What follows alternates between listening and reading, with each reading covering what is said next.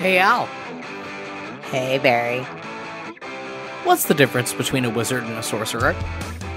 What? Class. It's time for Compelled Dual.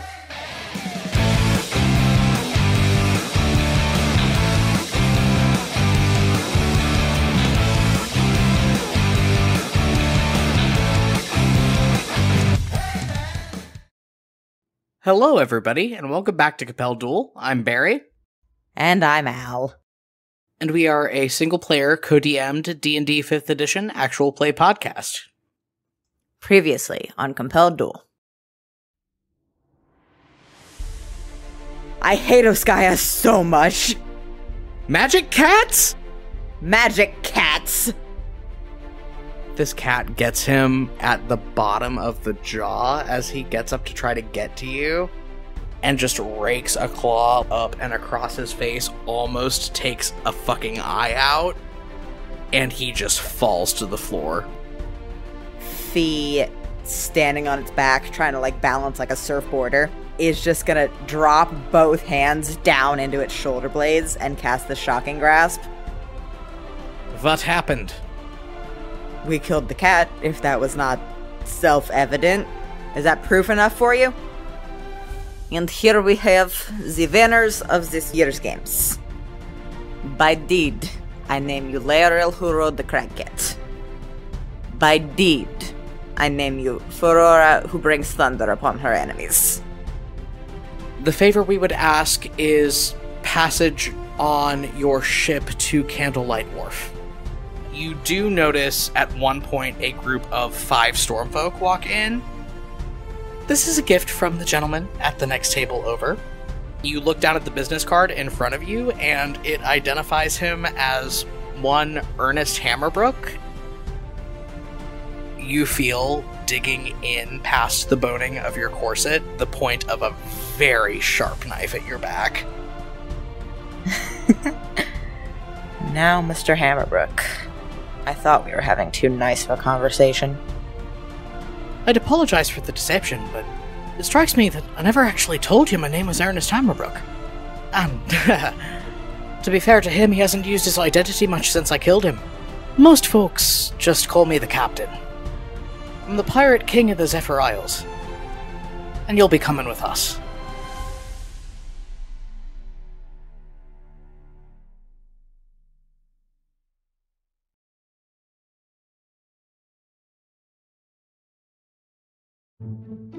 So we pick up a couple of days after we last left off.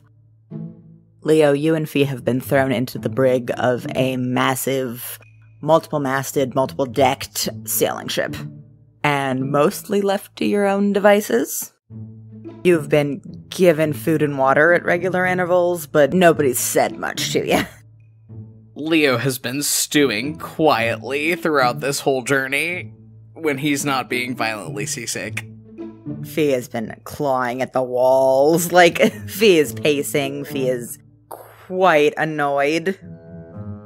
As she is pacing, Leo glares at her and says, And this is why we are taught not to talk to strangers, right? Have we learned this lesson?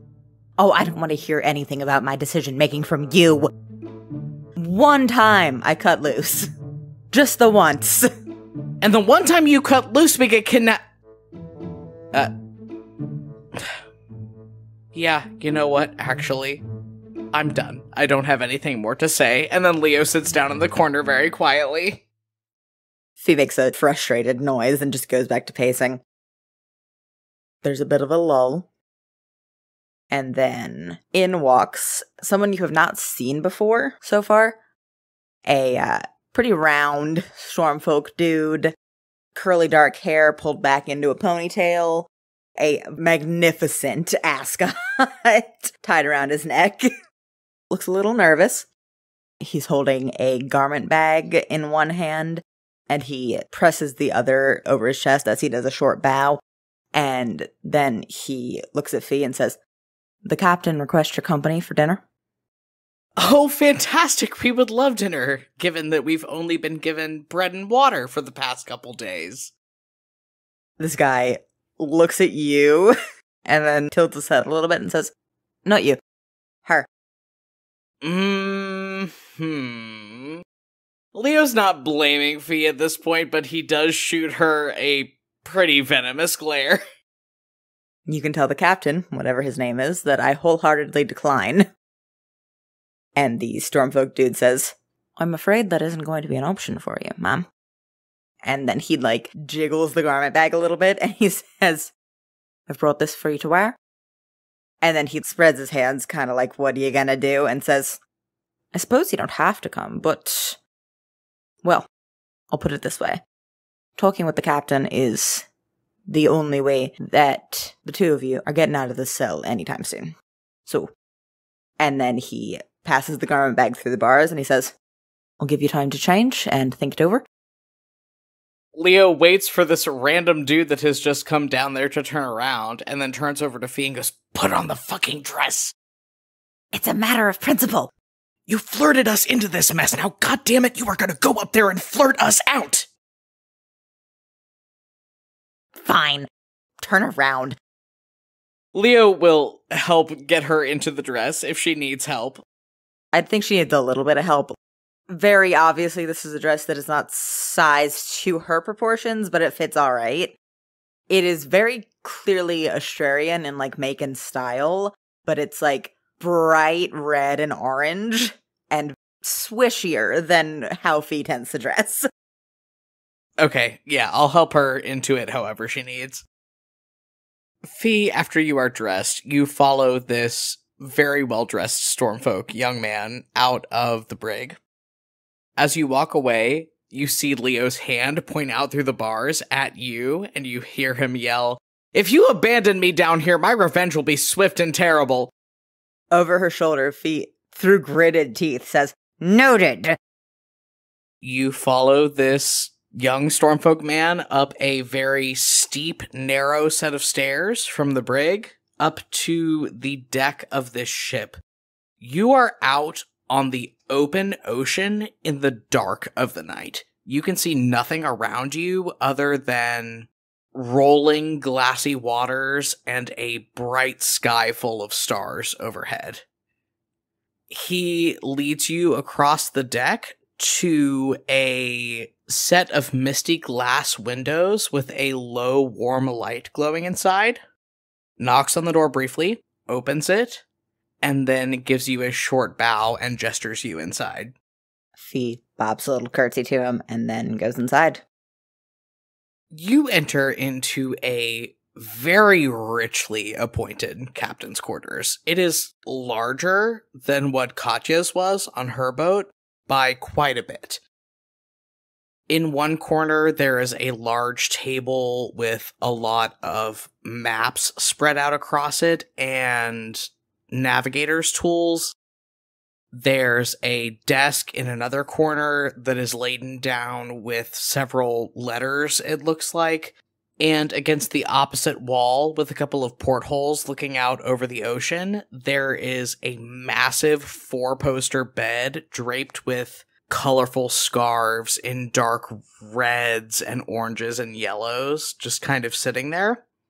But what you notice first is that in the middle of the room, there is a small dining table where the captain, as he introduced himself, is sitting with his boots kicked up on the table.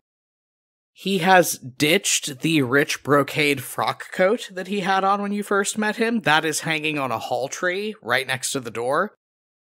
He still has on the loose linen shirt that is open all the way to the waistband of his pants, and he still has on the beat up tricorn hat. He shoots you a lopsided, sharp tooth grin from across the room and says, Ah, good to see that the dress fits you as well as it does. We weren't prepared for company of quite such a caliber. Do have a seat. Would you like to do anything as you move into this room? Do I have my wand or my orb on me? No, all of your feasible weapons were taken from you and Leo before you got on the ship. So Leo doesn't have his armor, you don't have your mage's armor, you don't have your wand. There's nothing that you could use as a weapon on you. Can I look at the maps over on the table? Yeah, sure. Make me an investigation check. That's a 16. Also, that brings up an interesting question. Do I have the cape on me? No, the cape was absolutely confiscated from you as soon as you got on the boat. Fun. Okay. With the 16, as you're looking down at this spread of maps, you can see very clearly that you are sailing through the Zephyr Isles. That is what most of the maps there are outlining. The one on top of the table has a very detailed map of an area that is known as the Dragon's Maw that connects the southern coast of Asturia with Pearlport in the Zephyr Isles and the coast of Dowrir.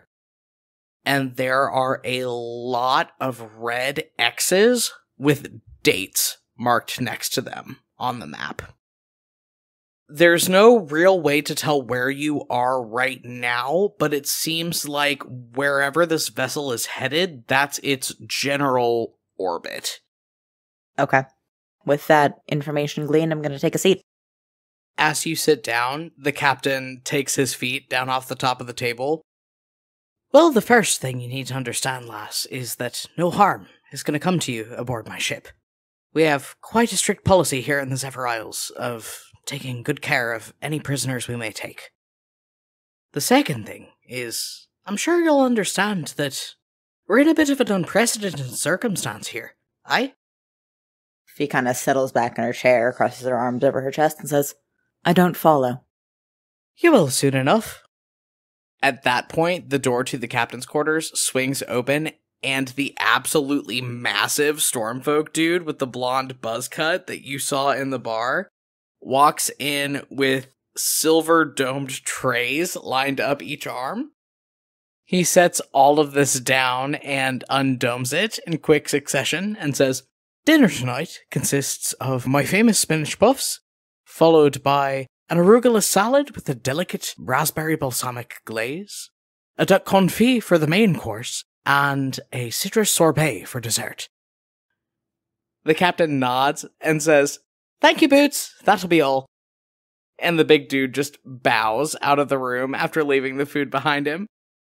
Phi pauses and then says, Boots? The captain, already biting into a spinach puff, says, Well, you see, the thing is, there are a certain amount of folks in the Zephyr Isles that, um, names are a little bit difficult for us. You understand? Well, you don't understand. But Boots was one of the first people that enlisted on the ship, and I wasn't great at assigning names at that point. Uh huh. Oh, so you named him Boots. You did that to him. He's alright with it. Most of them are. But that's not what we're here to discuss, is it? Fact of the matter is, I have a gift for you. A gift? Of a sort.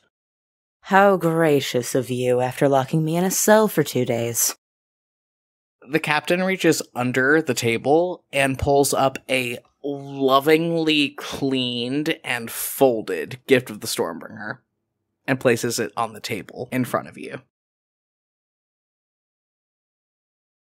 And Leo, back in the cell in the brig. There's a young Stormfolk woman, short, dark hair, pretty solidly built, sitting on a backwards chair in front of the door to your cell, just whittling a piece of ivory with a knife. Leo is walking up and down the cell with a tin cup, just rattling it along the bars. This young Stormfolk woman says, You mind cutting the racket? Roll me insight really quick. 19. It dawns on you as she's talking that this is a teenager. She looks a little bit older than you think she is. She has very like angular, very cut features. But the bitchy look that she's giving you can only be that of a teenage girl. Leo narrows his eyes and then decides to play this situation out to his maximum benefit and goes, Hey, kid, what's your name? She stops what she's doing, looks at you, and says, One, don't call me kid. And two, it's you. Your name is Laeril? She sighs.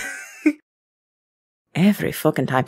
No, my name is you. You. Okay, that's wonderful. So tell me, uh, you.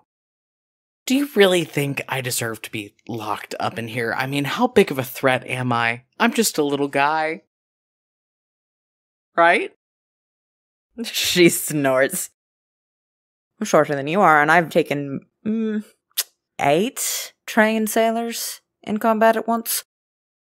Yeah, but I mean, look at me. And Leo flexes his atrophied arms. You know what I could use? I could use some fresh air. You could help me out with that, right? You? I I feel like we have an understanding. She gets up from the chair, arms crossed over her chest, and like leans into the bars and says, You and I don't have an understanding about shit. It is my opinion that the captain, for everything else that he is, is an admirable pirate, and he's got good instincts when it comes to people that he judges to be threats. Ah, pirates. Good to know. Leo goes back to walking up and down the cell and rattling the tin cup along the bars again. She's gonna try and snatch the tin cup out of your hand. We're gonna roll uh strength versus dex. That's a dirty 20 for Leo. That's a nat 20 for you. Okay, he tries to snatch it back from her and she just wrestles it out of his grip, I guess. she nods in satisfaction, raises the mug as if to toast you, and says, We taking this? Phi, you are still sitting in the captain's quarters. He is holding a lovingly folded and cleaned gift of the Stormbringer right in front of you on the table. What do you do? I'm not trying to be rude, but I am gonna try and snatch it. Okay, we're gonna roll a dex contest. 13. and the captain rolled an 18. So you go to grab for the cape and he yanks it back very sharply. He stands up, very slowly walks behind you and drapes the cape over your shoulders, buckles it into place in front of your neck, and then moves back around the table to sit back in his seat. But before he fully sits back down, he reaches under the collar of the cape where the bright silvery scale mail is and runs two fingers down along the hem of the shifting, stormy fabric. You don't know what this is, do you, lass? Not really. I could tell you, if you'd allow it. Phi pauses, looks at her teeth for a second, and then says, I'm sure you'd love to think you have a lot to teach me. Wouldn't dream of it, lass. I'll admit it does clash a bit with the colours of the dress, but we make do with what we have. Phi picks at the skirt of the dress and says, Not my usual style, but I appreciate the effort. And then she lifts a little bit of the fabric to gesture with it and says, I've noticed the Shrarian. Dare I ask how it came into your possession? He raises an eyebrow and tilts his head. The low lantern light of the captain's quarters reflects off of the opalescence, flashing the deep reds and golds in his hair and the pinks and greens in his freckles. And he says, You'd be a fool to assume that you're the first Asturian lass we've had on this old tub. That dress taught me two lessons. The first is never trust an Asturian. The second is never trust a bard. Phi raises an eyebrow and says, I get what you mean. I did notice back in the bar that you reacted more than I expected to my chosen moniker. How do you know Sabine? Phi, there is the razor sharp edge of a cutlass leveled against your throat before you have the time to react. No, there's no need to be hasty. The captain is standing up from his chair, has drawn his sword, has it pressed directly to your throat, and all of the levity has dropped from his face. He is deadly serious. She sent you, did she? I didn't say that. I'm guessing your dynamic is, uh, not friendly, then. The blade at your throat does not waver, but the captain slowly walks around the side of the table, looking you dead in the eye, and says, Sabine's my wife. And, uh, this wouldn't exactly be the first time she sent an assassin after me.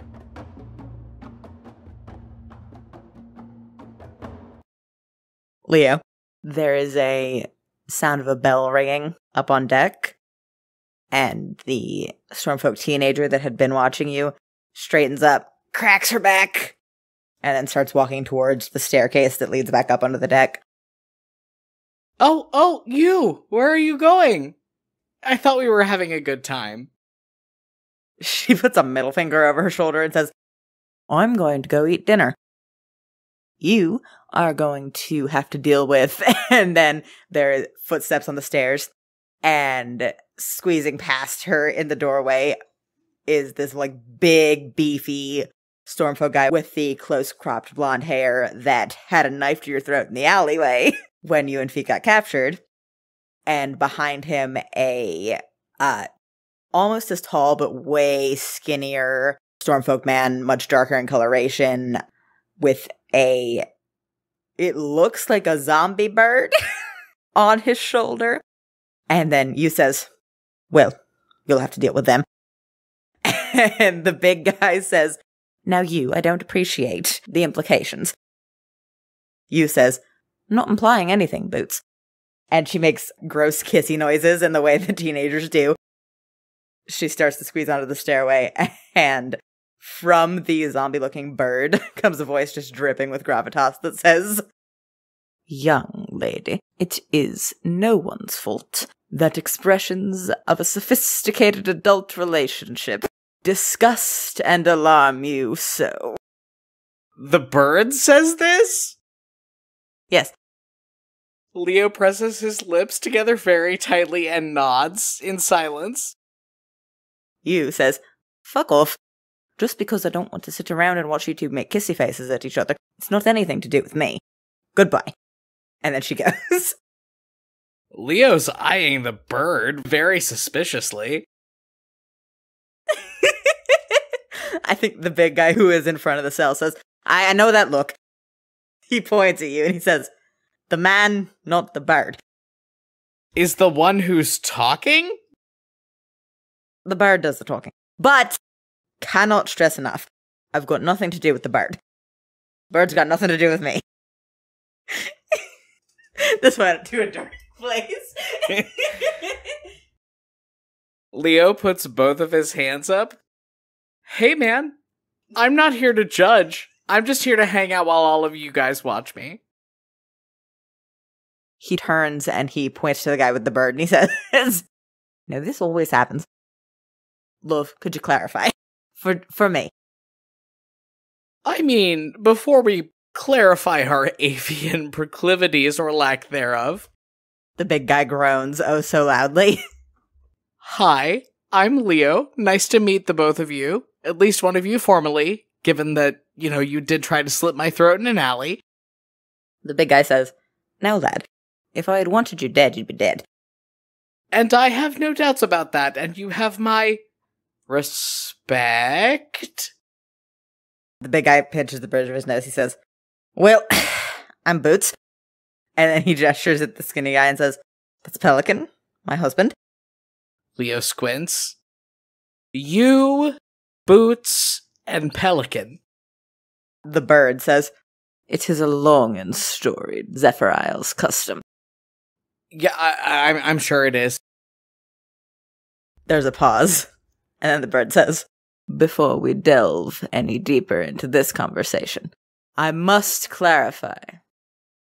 I am a bird, translating the thoughts of the man whose shoulder I sit upon. You know, that is so far from the weirdest thing that I have seen in the past year. Do either of you boys know how to play Three Dragon Ante? The bird says, My good man, I must forewarn you. If you engage us in games of chance, this devilishly handsome side of beef will surely hand your rear end to you on a silver platter. I would like you to observe my current situation, the both of you. In a cell, dirty, stinky, hungry, and I would like you to ask yourselves, what do I have to lose? The shirt off your back, and whatever dignity you may possess. well, right now I've only got the shirt. Either you boys got a deck of cards? Phi, you find yourself at the end of both a sword and a world shaking revelation. Your wife. Interesting. As you're sitting there with this sword pressed against the base of your neck, you look down and you see that the captain is indeed wearing a wedding ring, just a simple gold band right around his finger. Would you believe she was single as far as I knew? He looks a little hurt, honestly, and then tips his head to the side and says, Aye, I suppose that should be the case. We, uh, didn't exactly part on the best of terms after she tried to rob me blind. Looking back on my conversations with her, the story, as far as I heard it, was that you marooned her on an island. So it did, and it was well deserved. At any rate, the blade drops away from your throat and he slides it back into its scabbard and sits back down in his seat I won't hold the irrefutable fact that Sabine lies against you, lass. If I did, I'd have to hold it against myself. He puts a hand up to his head and just kind of leans into it, not touching his food and looking down at the wood of the table. Ah, Kivas thunder. What have I gotten myself into now? Phi brushes invisible dust off what she now recognizes as Sabine's dress and says, Well, putting aside my relationship with your wife and whoever Kiva is. The captain squints at you and tilts his head. Uh, and whoever Kiva is. Uh, uh, uh, uh were you raised under a rock, lass?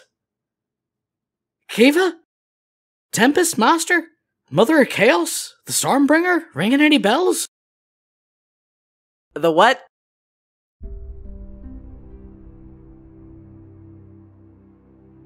Phi like plucks at the cape around her shoulder. The Stormbringer, you said. The lie! I saw the cape and I thought that. Uh, oh. Oh, you don't know shite, do you? I'm rapidly coming to that conclusion. He frowns and fiddles with one of the chains around his neck a little bit. Well, you know, or, well, I guess you don't. Kiva, the one with the lightning and and the storms and uh, they're not a, a, a goddess per se, but well, folk around here believe that Kiva controls fate, death, things like that.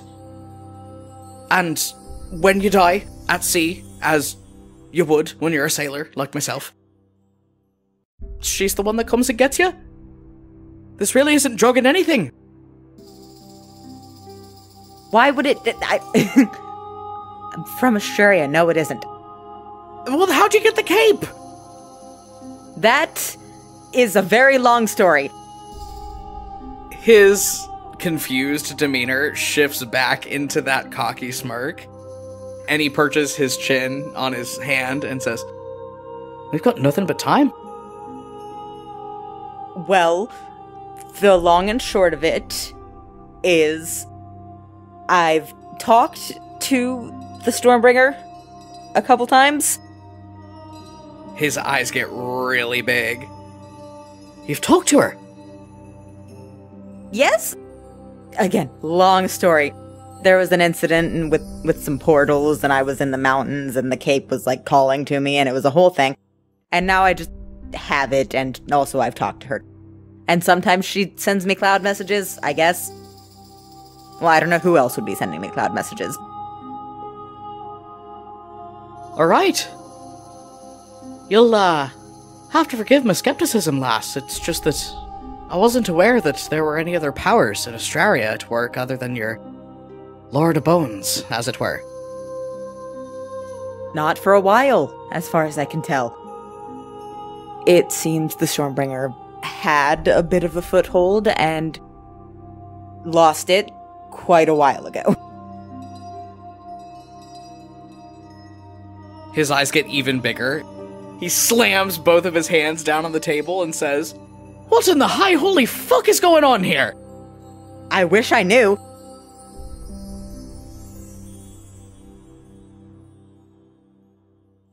This man is having a full blown crisis. He's not even trying to hide it. You can see him, like, trying to do math in his head and the equations just aren't coming up.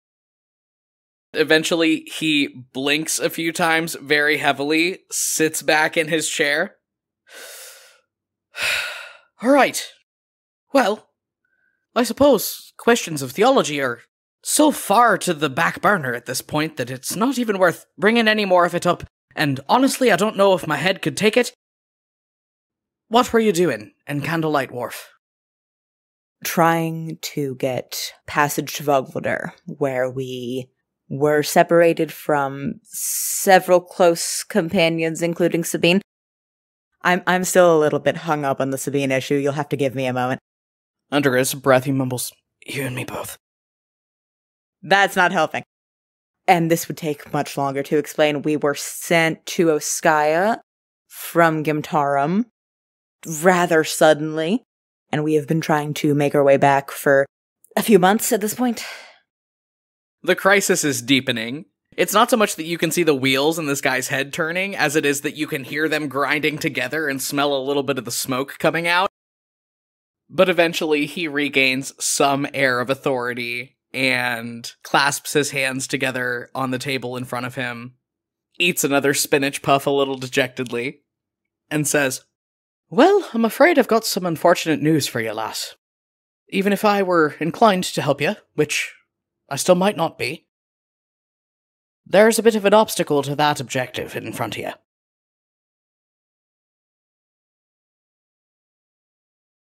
We cut back to Leo, who has lost a shirt and both shoes at this point.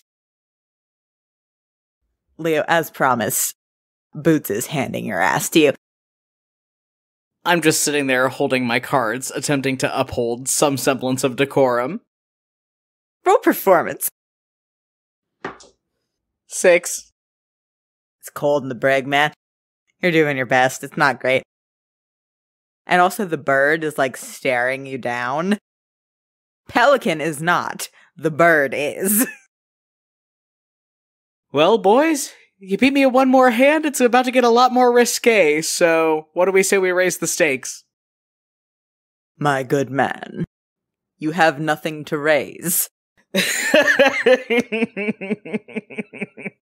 and at that moment, from behind Boots and Pelican, somebody yells, For fuck's sake, you two!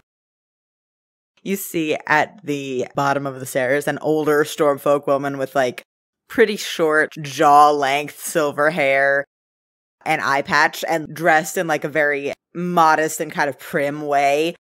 And the last of the pirates that brought you back to the boat, this gangly, like the equivalent of like 15 year old teenage boy who is like peeking around this older woman.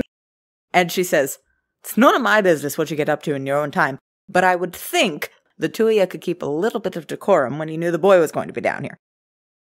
Leo very demurely tries to cover the top half of his torso with his hands and the hand of cards that he has. Boots says, Doc, to be fair, he did challenge us. Letting him win would hardly have been sporting of me.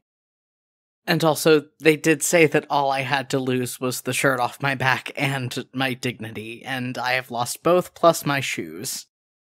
This older stormfolk lady, uh, Doc, apparently, shakes her head in deep disappointment and says, Give the man back his shirt. I mean, I wouldn't say no to getting my shirt back. Quite a lot of money went into me being able to not wear a shirt, but it is a kind of cold down here. Completely blowing past this, the teenager behind Doc scoots around her, and you see that he is holding the biggest, ugliest orange cat you have ever seen in your life. How big and how ugly? Because I've seen a big, ugly cat and I've got the scar to prove it. This cat is probably 25 pounds. Orange as anything, just bright orange. and as it turns its head, you see that it has a face like a cartoon character that just ran into a wall. It is totally just smushed. It's missing like most of one ear. It is a delightfully hideous creature. And this little teenager says, This is notice of delinquent repayment. Uh, you have to feed him, or we will all sink to the bottom of the sea and die. The, um, I, I mean, first of all, sure.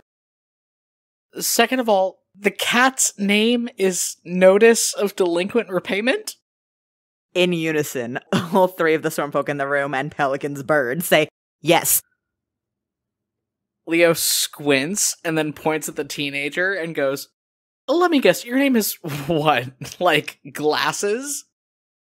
This teenager gives you a slow, suspicious look and says, Yes. Of course it is. All right, bring me the cat. He brings you the cat, hands you a little piece of some kind of bird through the bars of your cell, and I think just holds the cat up to the bars. Leo looks down at the bit of raw poultry in his hand and goes, Hey, Pelican, how do you feel about this, man? The bird gives you a long look.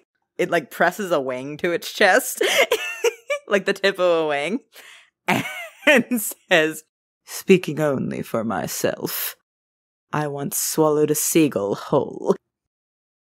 Uh, uh, uh, understandable. We all do what we have to do. Here, kitty, kitty, kitty, kitty. Psst, psst, psst. And Leo holds out the piece of meat. Roll animal handling with disadvantage. Disadvantage? Cat's mean. okay, the cat's mean, and Leo's not a cat person. That's fair. Oh, I rolled a nat 20. That's so sad.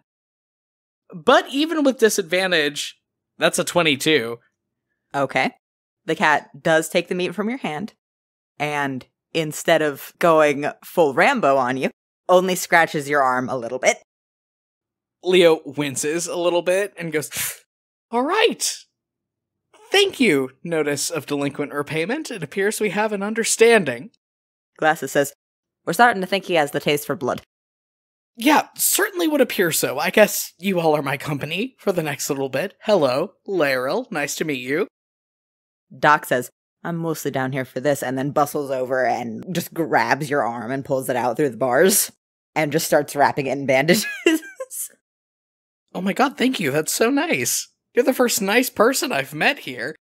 Everybody else in the room laughs, and Doc gives them all sharp looks and then turns back to you and says, We have a policy of non harm to prisoners. The cat just doesn't abide by the law. Well, I certainly appreciate that policy, whether or not notice of delinquent repayment wants to abide by it. Boots and Pelican hurt my dignity a little bit, but I assume that that doesn't fall under the policy. I think she does reach in through the bars and just like pats you on the cheek a couple times and says, Boyo, the law doesn't apply to your own stupidity.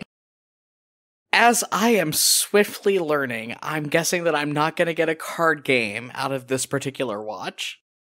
I'm too old to gamble and the boy's too young. And she grabs your shirt from Boots and hands it to you. Fair enough. Besides, the only thing I have left to gamble is my shirt, and I just got that back. So I guess we'll all just be getting to know each other for the next little bit. Boots claps his hand. He is still holding onto your shoes. He has not returned them. And he says, Well, we'd best be off to bed. Doc settles down in a chair and, and just like pulls a book out from nowhere and just starts paging through it. Leo hurriedly puts his shirt back on and then sits back down on whatever stool or bunk he has availability to do so with, looks at Doc and glasses, and asks, So, um, policy of non harm to prisoners. It would greatly put my mind at ease if one or both of you could confirm that that also extends to my sister, because a very well dressed gentleman came down here quite a bit earlier to collect her, and I haven't heard from her since. Doc says, That'd be Ascot. A fucking course his name is Ascot. Alright. She raises her eyebrows at you. She says, I wouldn't worry too much about him. He's. How to say this? If the man gets too close to the kitchen knives, he, uh, looks like he's about to faint. That is a mild comfort over a long stretch of not even having that, I suppose.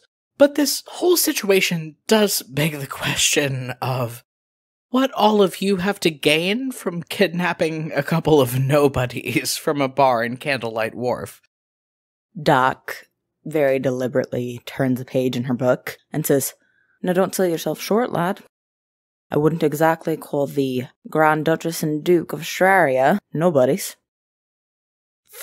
Fuck. Doc hums to herself and just goes back to her book. Glasses sits down with the cat, and you sit in awkward silence for a minute. And then you hear footsteps on the stairs.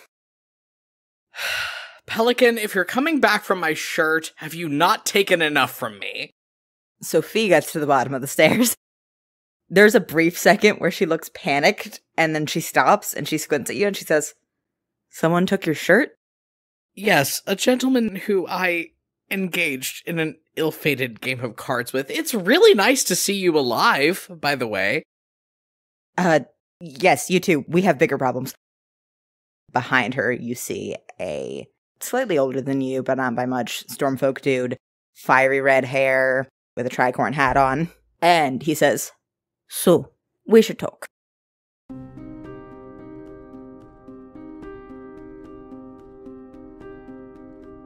And then we cut to the captain's quarters. Leo, you are sitting by a table upon which the captain, as he has introduced himself, unrolls a big map. He gestures at a line that's been marked out in the sea between Asturia and Volgladur. And he says, The blockade set up right here.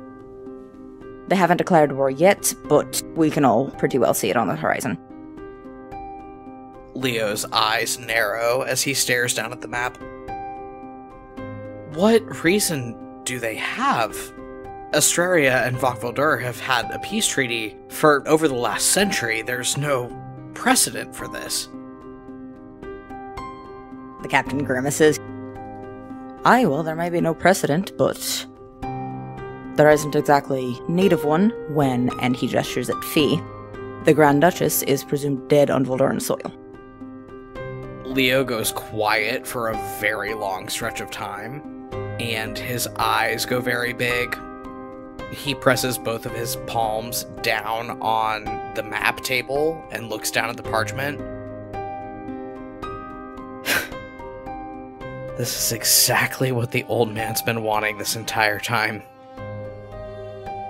Phi is like pinching the bridge of her nose. She says, I know father has his faults, but he did end the last war, so. Ended it on his terms, which is the operative phrase here, Phi. I. I did a little digging while we were in Gimtarum, and it turns out that the Volduran Wars could have ended decades before they did. But the old man didn't want to capitulate to Volduran demands, so he skewed the political arena, engaged in some suspect activity, knifed good old Uncle Val in his bed. There's a lot that went on. There is a long pause, and Phi puts a hand over her mouth and just says, And I just became his newest excuse. I feel like I'm gonna be sick. Well, if it's any comfort, he's never needed much of one. He wanted revenge, and this is how he gets it. Phi stands up from her own chair, just like hands up. I, I need to take a walk. I and then she starts to go for the door, and the captain says, "Wait there." He looks at her, looks at you. He says, "As much as I'm up for a bit of shit talking, philosophizing about the reasons that aristocrats do things has never been productive, to my knowledge."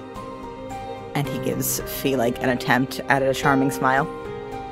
As pretty as you are, I've got about a dozen good reasons to hand the two of you over to the Asturian Navy, get the blockade disbanded, and guarantee that none of this spills over into my islands. And precisely zero to help either of you get back to Vogwater. Leo grits his teeth super hard. We know where all of your missing people have been going, and to a degree, who has been taking them. And both of us want to make that stop. Roll insight. 20 fucking 4, buddy. You watch a couple of emotions cross the captain's face in quick succession. For a second, he looks worried and then angry. And then you watch him like visibly calm himself down and he says, Lad, people go missing at sea all the time. But disproportionately in the Dragon's Maw. Yes? He whips his sword out and it is pointed at your throat in like a second. And he says, Right. I think the three of us had best start being honest with each other. You're getting all the honesty I have to give at this point. I'd hate to sound like I'm offering up excuses, but when both of us were still living in Asturia, neither of us knew anything. It was all kept under wraps, it was all obfuscated, blamed on Stormfolk pirates or other outside forces. But the reality, which I'm sure you can corroborate, is that sometimes folks in the Dragon's Maw just disappear. And maybe sometimes those folks disappear close to Asturian ships, and people who are taken to Loxtogalin never come back. We see that now. We know that now. And we want to make sure it never happens again. And that's why you should help us. Almost quicker than you can process, the captain puts his sword back in the sheath, stretches his shoulders, and he says, Right. Well. And then he, like, dusts his hands off. Bit of a problem with that. I am. And he makes a grand gesture. The highest authority in the fleet. But there are other forces at play that I am accountable to. So we'll have to do a bit of fancy negotiation. Well, it will please everyone here to know that I am very skilled at fancy negotiation. Just explain the terms to me. There's eh, a bit of a system of checks and balances for myself and most other pirates in the area. You understand? I am accountable to. And then he pulls out another piece of paper, and it's a map of a little island the other pirate monarchs of Turdun, Asturia, Vogwater, Oskaya, Daudir. And we have a bit of an agreement that none of us is going to interfere in the blockade. So we can't get back to Vogvolder until that particular agreement is dissolved. Yes? He gives you this sideways grin and then he points at this smaller map that he's pulled out and he says, This is Parley Cove. I can call a meeting between myself and the other pirate monarchs pretty easily. And he hooks his thumb around one of the chains around his neck and pulls out of his shirt a, uh, looks like a little globe made of ruby. And he rubs his thumb over it in a way that looks deliberate and it starts to glow. The trouble is going to be convincing them the pirate queen of Asharia, especially, is a piece of work. Didn't even know that that was a person that existed until right now. Well, you're a lucky man. I'm not exactly eager to see her this soon after the last time we talked, but needs must, I suppose. Okay, so Parley Cove, we figure out what's going on there. In the meantime, could we maybe not be in the brig? It's really cold down there, and the food's not awesome. Phi says, Yeah, I would love a real bed. It's been a while. The captain looks up at her and smirks and says, I could provide that. And then he looks back at Leo and says, The two of you can stay in the crew's quarters. You'll have to put up with Ascot snoring, but. Sir, you had me at bed. He nods. He says, Right, seems we have an agreement. And then he sticks out his hand. Yeah, I'm gonna shake it. Phi, the captain leads you below deck down to where the crew's quarters are. It's a big, wide open space subdivided into several smaller, almost cubicles that are housing the crew of this ship, which is pretty sizable given how big it is. You and Leo are led to one of these open berths. It has a set of bunk beds in it. Leo quickly claims the top one. And he wasn't kidding about Ascot, the young man that got you out of the brig in the first place, having a little bit of trance apnea. it's loud, but Leo is very tired and goes into his trance almost immediately. What are you doing? I think I'm going to go up on deck. You walk out on deck. It is the dark of the night. The stars are out, reflecting off the water. And above you, you see a shadow cast down onto the deck from up in the rigging. You look up, and the really tall, skinny guy with the infernal bird that you saw in the bar is like crouched on all fours in the rigging, and he and the bird are just watching you. Please don't. The bird ruffles its feathers in an offended manner. Young lady, it would be a dereliction of my duty if I were to abandon Night Watch. And then from behind you, you hear, Pelican, you daft ghost of a man, Night Watch doesn't mean night lurk. Piss off. The bird harumphs, and then Pelican hops down out of the rigging and walks off across the deck and disappears. The captain is standing behind you, smirking. Thanks for that. Don't mind Pelican, he's mostly harmless. It's the bird you want to watch out for. Oh, Pelican's the. I thought Pelican was the bird. It's a bit of a complicated situation, lass. At any rate, you're out awful late. Everything alright down in the crew's quarters? Uh, fine. I just. needed some air. Well, you're in the right place for that. I am glad to see you, though. I, it strikes me that I forgot to return some of your effects to you earlier. He reaches into his frock coat, which he has put back on, and produces your wand and your orb, and holds them out to you. I reckon since we're working together, at least for now, it'd do well to have you armed.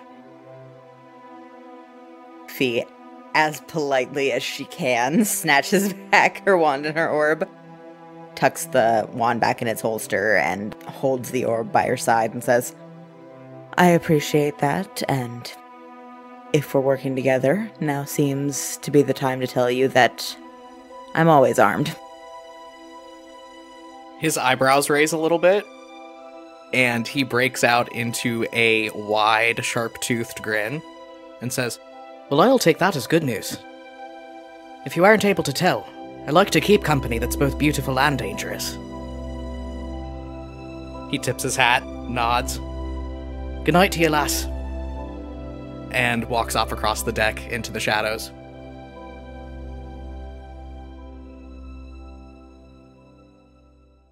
Phi bites down on the inside of her cheek for a second, sucks a breath in through her teeth, and says, Well, interesting.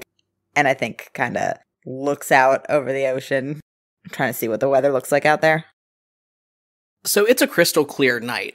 But the longer you look over the deck and as the ship moves through the water, gently rocking, out just barely over the horizon, you can see this really weird weather effect happening. It's almost an aurora effect in that the sky is lighting up and shifting back and forth between dark greens and purples and grays and deep blues.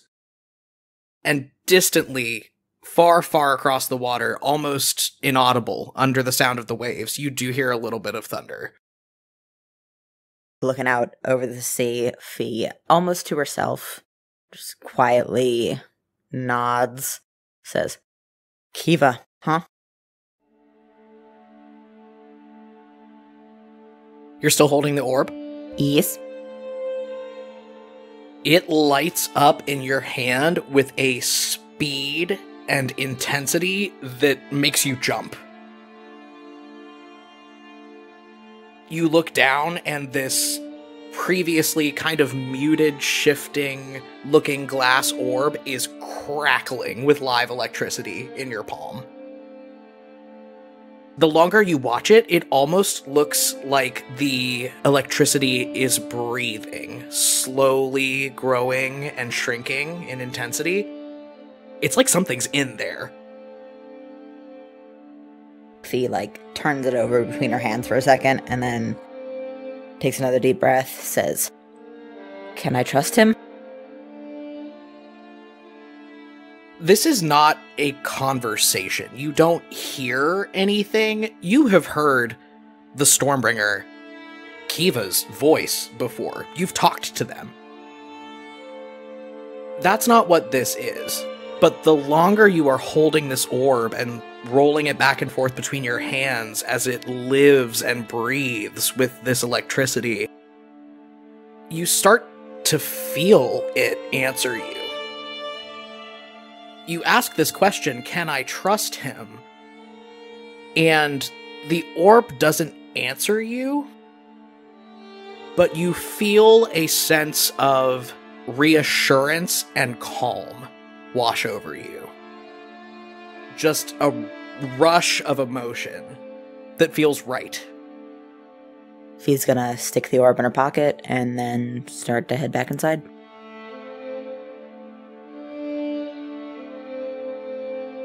The orb shocks you when you put it down. It just kind of zaps your hand really quick. It doesn't hurt that much but you feel that same kind of static shock in the root of your palm that you have been feeling in the last several encounters that you have had with this entity. And you feel like your mojo just got a little bit more juice. So you have now leveled up to a level 9 Divine Soul Sorcerer. Phoebe fully drops the orb into her pocket, goes, Ow, shit! And then I think, like, whips around to look at the ocean. in outrage. You whip around, and over the railing on the side of the ship, you see these dark rolling waves reflecting the night sky overhead, reflecting this strange aurora weather effect you've never seen before. Off in the distance, within the depths of this weather effect, lightning flashes cloud to cloud briefly lighting up the sky and the sea around it.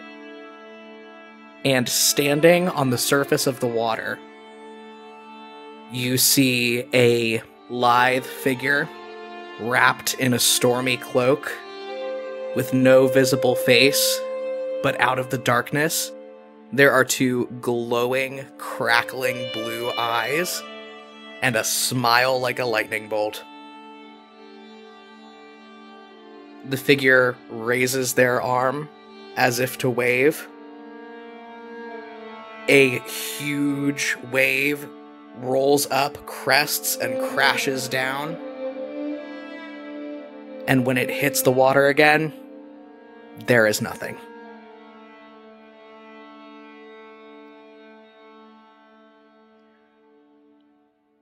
And that's where we're going to end for this week.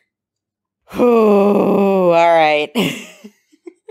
when we told you guys there were going to be pirates. Man, you don't even know the half of it yet. But we'll find that out next time. On Compelled Dual.